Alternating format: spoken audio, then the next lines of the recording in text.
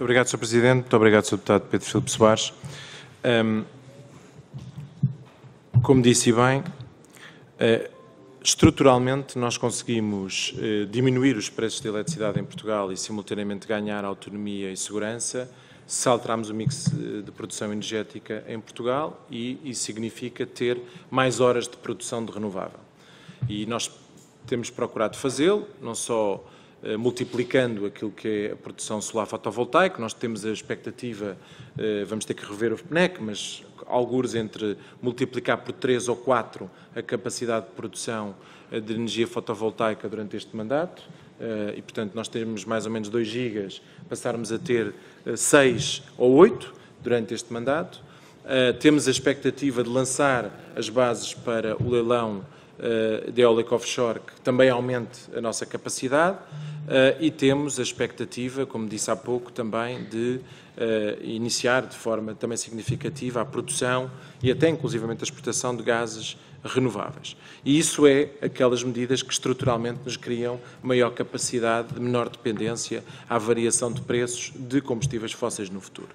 Depois dar nota que o Sr. Deputado fala e refere bem, o mercado marginalista tem esta particularidade que, uh, independente, que no momento uh, que não haja preços especulativos, tinha como objetivo, que era, na prática, dizer que as tecnologias mais favoráveis, mais competitivas, beneficiavam, tinham um ganho maior do que as menos competitivas e havia uma migração das mais competitivas para as menos competitivas, mas isso é aceitável até um ponto, eh, que é o ponto em que os preços, nomeadamente das, das menos competitivas, disparam no mercado e aí deixa de haver um ganho normal para haver um ganho bastante mais do que normal e, portanto, podemos falar, como disse muito bem, de um sobreganho ou de um ganho não estimado por parte de um conjunto de empresas.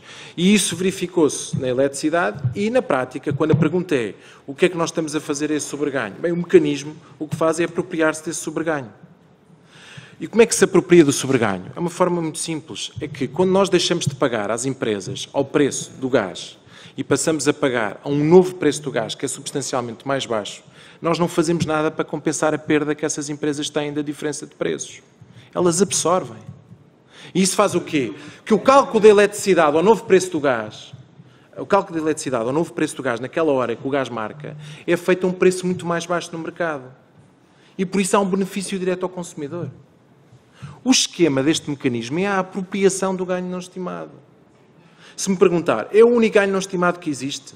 Digo-lhe já que não. Quem andou a comprar gás a preços muito baratos e que agora tem eventuais estoques, eventualmente pode ter aí um ganho não estimado. Mas na eletricidade, o ganho não estimado é apropriado.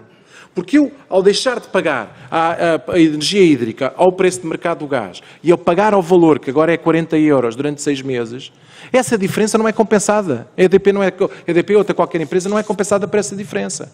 E, portanto, à hora que o preço do gás está a marcar, o preço da eletricidade é definido por esse novo preço que eu estou a definir do preço do gás. E é muito mais baixo no mercado.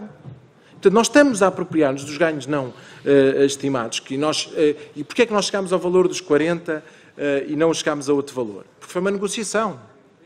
Foi uma negociação. Portugal e Espanha tiveram um processo negocial com a Comissão Europeia em que fomos negociar qual era a evolução do preço durante este período e aquilo que foi o resultado desta negociação deu numa média de preços de 48,8 euros megawatt-hora durante este período até, 20, até 31 de maio de 2023, quando a nossa proposta era inferior.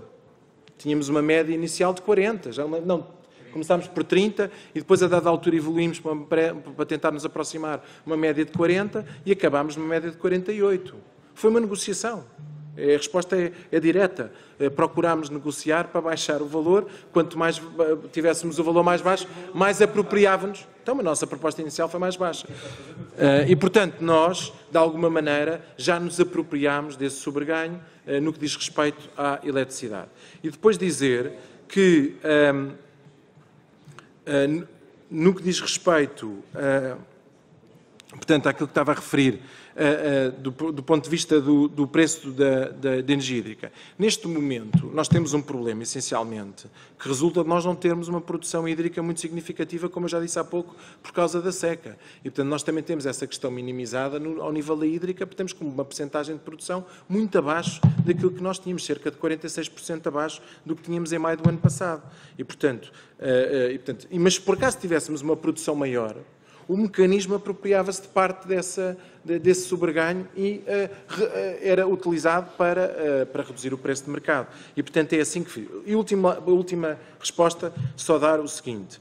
Nós partilhamos da posição que aqui referiu. O governo português entende, eh, manifestou a sua posição contra a, a, a posição que foi assumida de considerar o nuclear e o gás natural como uh, energias renováveis. E entendemos que é um incentivo errado, é um sinal errado para a transição energética que tem que ser feita nos países, para o esforço que os países estão a fazer de redução da sua dependência de combustíveis fósseis, também para a redução nuclear que, tem outro nível de riscos e de perigos, e, portanto, nós entendemos que o caminho deveria ser uh, o caminho de considerar, não considerar renovável e continuar a apostar em gases renováveis, hidrogênio verde e todo, todo, todo o outro panóplia de energias renováveis, eólicas, hídricas uh, e fotovoltaicas, como as energias de futuro que são verdadeiramente verdes. Obrigado, Sr.